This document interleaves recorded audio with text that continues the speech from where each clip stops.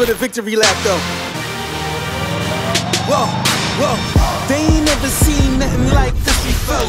Lit room when I came through the front door. Ask me if I should overcome. What for? Train in the trees, please pardon my sycamore. So Leute, ganz liebe Grüße ins kalte Deutschland aus dem heißen Santiago. Wir sind angekommen, Rennen Nummer 3, Formel E Saison 5, nee. 5, 6, 6, Sechste Saison. 6, Formel E Saison 6, ja ich merke schon, ich habe schon Hitze, Hitze schlagen. hier schon. Ja, war so eine lange Pause, Mann, da kann man das schon mal vergessen. ey. Okay, es ist Saison 6. Wir sind hier und es ist heiß und es wird ein geiles Rennen. Vor allem haben wir schöne Erinnerungen ans letzte Jahr. Da war es der dritte Platz und die schnellste Rennrunde. Und deswegen äh, als kleiner Refresher ein paar schöne Bilder für euch.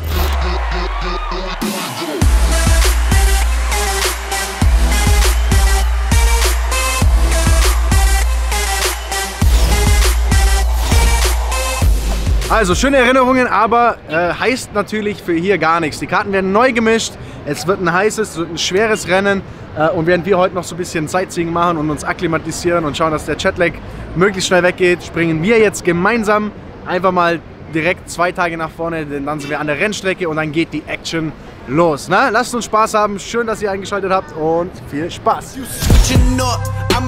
switching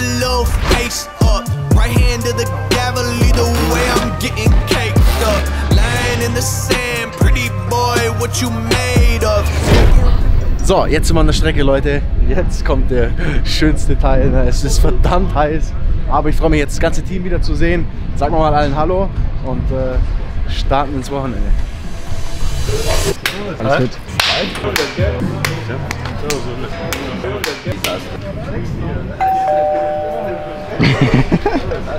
Alles fit, ja. Uh, coming at the barbershop too lit. Pocket full of nickels blowing super draw. Uh, smoother than the Cadillac with cruise control. Doing what I do, you know. Women playing hard to get as I pull up on the boulevard, flossing it. An der Strecke hat sich auch ein bisschen was geändert, Leute. Und ich glaube, damit wir alle nicht nur wissen, wie Santiago ausschaut, sondern auch wissen, wie die Strecke ausschaut, gehen wir jetzt mal gemeinsam auf eine Onboard äh, und starten mal eine Runde. Viel Spaß. Right, coming over the start line, time split the time beam. Watch how bumpy it is on the braking zone. You're just trying not to overdo it in the brakes because there's turn two already. Watch the surface change, different grip level out of two. He had a couple of goes at three, didn't he? I, well, it's just just two. Look at it, that's when he turned out of the wall. Yeah, now you've got to keep that momentum up. Back to the throttle. Another lift coming up, just going in, then back to the throttle hard. Now you're thinking about setting up for seven, not the corner you're in. Turn six. Back. And then look how long this straight is. Minimize the distance. Stay tight if you can to the left, which Mitch isn't doing. So he, he probably knows better than I do, you would say. Trying to straight line the braking zone into nine. Completely blind, blind. Where's the corner? There it is surface change again onto the low grip concrete. All the drivers saying how low grip this concrete was. Don't overdo it on the bumps into the hairpin maximum lock. Nice and straight on the power. To do the same again now in 11. Don't get too greedy on the way in. He didn't. Nice and smooth. Back to throttle. Ni- yeah, very nice. And then makes the run for the line. And that's the quickest lap we've seen, as you say, Jack. Das war die Strecke, Leute. Wie ihr seht, wir sind jetzt am Renntag angekommen. Es ist heiß. Wir sind jetzt gerade schon zwei freie Trainings gefahren. Ähm, die Strecke fühlt sich cool an, macht definitiv Spaß. Ähm, es gab ein paar Unfälle im freien Training. Ähm, wir waren so ein bisschen durcheinander. Gerade jetzt das zweite konnte man nicht ordentlich, ordentlich fahren. Wir waren am Ende jetzt Neunter. Ähm, ja, das Gefühl ist gut, aber wie immer eine Runde im Qualifying, die muss sitzen. Und äh, wir starten in Gruppe 2. Mal schauen, ob das einigermaßen gut funktioniert. Aber ich fühle mich gut und freue mich deswegen. Wie ist bisher die Hitze? Es ist heiß, ja. aber es Ist geht eigentlich. Ja, es es ist gar geht nicht so schlimm. Ja, aber ich glaube, es kommt So gerade erst richtig raus. Ja, Ja, heute Nachmittag bestimmt. Ja. Attacke.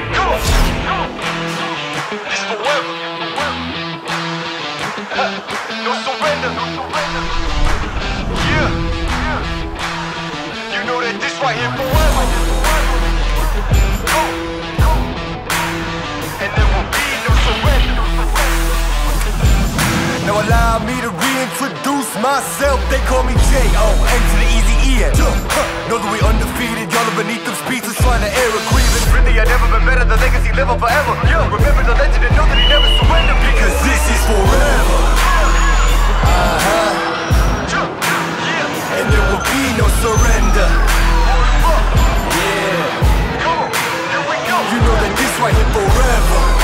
surrender. Know that this right here It's forever, you know, yeah, this right here forever. Yes, Qualifying vorbei, Leute. Wir haben die wunderschöne Zahl 13. Es war eigentlich wirklich gutes Qualifying. Nur es war komplettes Chaos. Ich habe mein ganz normales Warm-up, meine Warm-up-Prozedur gemacht und alle anderen haben irgendwie langsam gemacht und, und irgendwie alle mussten dann anhalten. Ich war nicht mal sicher, ob ich die Runde rechtzeitig starte, bevor die Zeit abläuft. Und dann fahre ich durch Turn 2 und der Robin hat sich gedreht, kommt wieder zurück auf die Strecke, fährt genau vor mir, mir vor das Auto und ich muss die ganze Runde ihm hinterherfahren und er hat irgendwie dreckige Reifen und, und, und, und rutscht da rum und ja, super ärgerlich. Also nach der Gruppe war immer noch Fünfter und nur zwei Zehntel weg vom Ersten. Also zwei Zehntel gereicht, um im Superpole zu sein und das war bestimmt vom Gefühl eine halbe Sekunde, die wir da verloren haben. Lock, also kann man nicht so, nicht so messen, aber es war, es, das Auto war gut, ich habe mich richtig gut gefühlt und kann, kannst nichts machen. Ne? Also äh, immer noch äh, bester startender Audi oder traurigerweise eigentlich. Ne? Lukas auch, auch ein Problem gehabt oder auch einen Fehler drin gehabt. Ich glaube eigentlich, dass wir schon ein gutes Package hatten. Das heißt, äh, fürs Rennen wird es definitiv besser, aber dieses Qualifying im Moment oder jetzt in der Formel E ist einfach crazy. Und wenn du halt dann in dieser zweiten Gruppe startest, man hat es wieder gesehen, jede Gruppe wird schneller. Die Leute, die in Gruppe 4 qualifizieren, stehen alle vorne. Dann, dann bist du einfach, selbst wenn du eine gute Runde hast, irgendwie äh, im Mittelfeld. Ne? Das, das ist echt, echt verrückt. Also volle Attacke jetzt im Rennen. Mehr kann man nicht machen. Ich bin ganz guter Dinge, dass da noch gute Punkte drin sind. Und äh, ach so, äh, Niklas macht gerade so. Das heißt, für euch gibt es jetzt eine sehr, sehr interessante Folge Behind the Beard mit Roger und dem äh, Sheriff. Die haben für euch was Schönes aufgenommen. Viel Spaß! Willkommen, meine lieben Freunde des gepflegten Barts. Wir sind mal wieder in Santiago de Chile. Es ist super heiß. Allererstes Ding, ich muss mich entschuldigen. Ich habe das letzte Mal in der letzten Folge Behind the Beard nicht den Bart etabliert. Und dafür großes, großes Sorry von meiner Seite. Aber wir haben uns heute was Spezielles für euch überlegt. Heute machen wir das Thema Reifen. Und dazu holen wir uns den Sheriff heute dazu. Und das ist der Reifenmann vom Daniel. Let's go. So, Sheriff. Roger, Wie geht's dir? mir geht's hervorragend. Das ist Tutti. Wir sprechen heute über unser beliebtes schwarzes Gold, habe ich mal gesagt. Ja, das ist eigentlich so eins der coolsten Elemente an der Formel E, weil es sind Einheitsreifen für alle Teams und äh, man hat pro Rennwochenende nur zwei Satz pro Fahrer und ähm, der Sheriff ist so derjenige, der so dieses ganze Thema betreut von Anfang bis Ende. Und da ist eigentlich mal so die Frage, Sheriff, wie oft nimmst du so einen Reifen in die Hand am Wochenende und was passiert mit der Felge, wenn die hier am Rennplatz ankommt, bis sie das erste Mal aufs Auto drauf geht? Der Transport von der Felge wird erstmal in der Rimbox hierher verschickt. Die hole ich dann raus, bringe die Felge dann nach dem Saubermachen zu Michelin zum Aufmontieren. Dann werden wir die Felge holen, samt dem Reifen, wo wir komplett montiert sind. Die bringen in eine Box, legst sie sauber hin. Dann werden die erst einmal nummeriert, die ist von der FIA vorgegeben, drei Punkte. Sprich mit der Startnummer 66 vom Daniel. Dann einmal die Setnummer und einmal vorne links, vorne rechts wird die beschriftet. Dann haben wir Barcodes, die wo wir einscannen und innen drin einen Sensor wird eingescannt. Und ganz, ganz wichtig, der Reifen wird eingescannt. Dann haben wir den schon mal komplett auf der Liste mit einem kompletten Satz dann. Dann haben wir hier Klebegewichte, wo ganz, ganz wichtig sind, auch zum Schutz des Fahrers, dass die Klebegewichte nicht auf die Straße rumliegen oder was. Dann werden mit Alutapes zugemacht. Dann werden die Drücke eingestellt auf einen Grundbasis. Dann wird der komplette Reifen gewogen. Und wenn wir alle vier durch haben, haben wir einen kompletten Satz. Jeder Fahrer hat zwei Sätze. Sprich, mit vier Satz sind wir am Wochenende dabei. Und bis der erste Satz am Auto ist, nehmen wir einen Satz zehnmal in die Hand. Zehnmal. Zehnmal. Jetzt die wichtigste Frage überhaupt. Das ist das, was die meisten Leute wahrscheinlich fragen. Was stellen wir für einen Druck ein am Wochenende? Ja, es gibt einen Basisdruck, den wir einstellen. Und den genauen Druck werde ich euch leider nicht sagen. Oh, das ist aber schade, ne? Aber das ist so das ganze Geheimnis. Es gibt auf jeden Fall noch was an dem Reifen und das ist der sogenannte FIA-Barcode. Was hat es mit dem auf sich? Also wir werden zugeteilt zu den Fahrzeugen und zu den Fahrern. Sprich, da ist ein Code drauf und die FIA schaut nach dem Code am Ende in der FIA-Waage hinten nach, scannt den oder was, passt dieser Reifen zu diesem Fahrer, wo wir deklariert haben. Wenn ja, ist in Ordnung. Wenn nein, sind wir sofort disqualifiziert. Jetzt noch äh, eine Frage. Was wiegt so ein Reifen? So ein Reifen, Vorderreifen wiegt knapp 15 Kilo und der hintere Reifen wiegt knapp 18 Kilo. Ähm, Michelin hat ihn ja weiterentwickelt, den Reifen. Und von Generation 1 zu Generation 2 hat der Vorderreifen 2 Kilogramm verloren und der Hinterreifen 2,5 Kilogramm, wodurch wir natürlich mehr äh, ungefederte Masse haben und dadurch auch der Rollwiderstand reduziert wird. Und der Sheriff weniger zu tragen hat. Und der Weniger zum obwohl er, obwohl er Genau. nicht schlecht, er geht, je, er geht jeden Tag trainieren. Aber er isst auch jeden Tag im Team und Crew viel Süßes. Nein, Doch. Nein. Doch. Stimmt. Aber eine Sache, die du vorhin noch gesagt hast zu mir, Sheriff, also Ja. du nimmst den 10 bis 11 Mal in die Hand, bevor er am Wagen ist, aber du hast das Ganze nochmal umgerechnet in Kilogramm. Also in Kilogramm ungefähr haben wir pro Satz 700 Kilo, bis das erste Mal ans Auto kommt. Und das ganze Wochenende oder sowas sind wir ungefähr bei drei Tonnen sowas, was wir lupfen, nur, nur an Räder. Du müsstest eigentlich aussehen wie The Rock. Normal, wie ja. Dwayne The Rock Johnson. Normal, ja. Aber das Wichtigste fehlt nämlich auch bei ihm und das ist der Bart.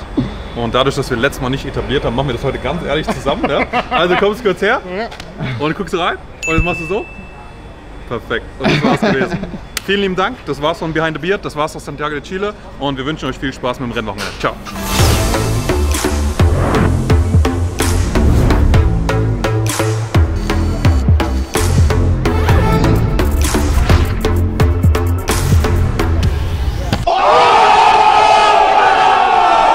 Scheint ja bei den jungen Fans hier ganz schön beliebt zu sein.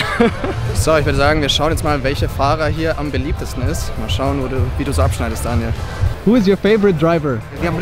Felipe Massa. Nick DeVries, Brandon Harley, Felipe Lamas. Jenny Bernier. Max Gunter. Uh, the Brazilian one. Stoffel Banner. Massa. Uh, sorry, but I'm not fan. My cousin is fan. Felipe Massa. You? also mein Research hat ergeben, ein Drittel mögen Massa, ein Drittel mögen irgendeinen Fahrer und ein Drittel kennt nicht mal Formel E.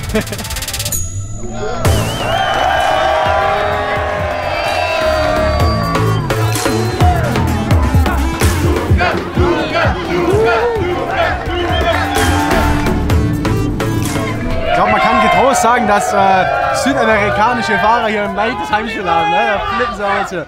Alle hier. Let me get it, let me put it down. One time for anybody out there following their dreams. Anybody in the city looking to jobs so they can get to bigger, better things. You can't see the that I put in. Every day and night, go to every trick or bite, go to every bit of made just to hit them with the fade. When I it to the people that told me that I couldn't. Yeah, after all. War das wieder? Der Costa. They confessing with the self-hate. Got this shit from the wounds that I cut deep. So when other people say we gotta retaliate.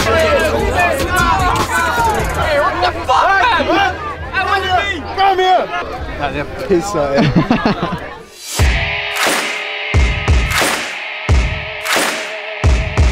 Oh yeah. Yo, let's do this.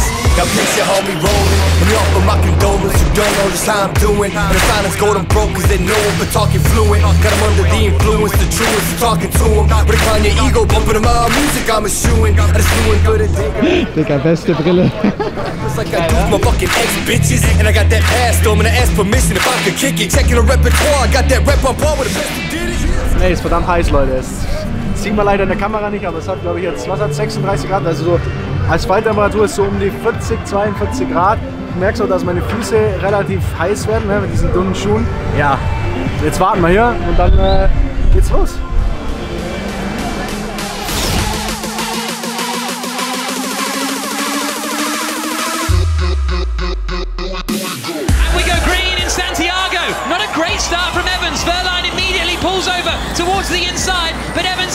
Gets it covered. Verline tries to go around the outside of Gunther at turn one, and I think the Mahindra's done it.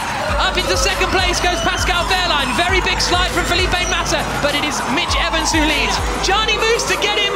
Does he get through Sims? Yes, he does. It's a bit bumpy, bumpy, but Sims, has, I think, has just got up into 11th place. He's trying to get around Johnny. Three white. Oh, Lotter is on the outside again, getting hung out to dry. Daniel Apter's got up the inside of him now and will move back up a place.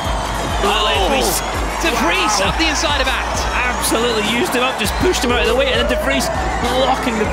Sam Bird. Sam Bird behind us. Oh, big move from the Nissan of Oh, and Bird goes round. I think Roland hit Apt, and Apt went into Bird. Max Gunther in the BMW to the outside. Hangs it on around the outside and gets through. Great move from Max Gunther. Smoke. Oh, one of the, is it Byrne? It's Yep, Vern. Byrne. That front left bodywork that has been plaguing him all race after he picked up the damage earlier on. He might have to pit here. turn nine. Is he going to go to the inside turn ten? Here he comes. Oh, that's late, for the and they hit each other. DaCosta forces his way past. Now that is robust. Stewards will have a look at that one, and we'll have to wait and see. But Antonio Felix DaCosta in the lead of the race. Here we go into turn nine. DaCosta is going to be so close to zero. I think he's in big trouble on every front here, DaCosta. He goes defensive. Gunter goes to the outside at turn nine, and he's done it. The BMW of Max Gunter gets into the lead. He thought he had his first podium at the last race in Diriyah. It wasn't to be. It was taken away. But now,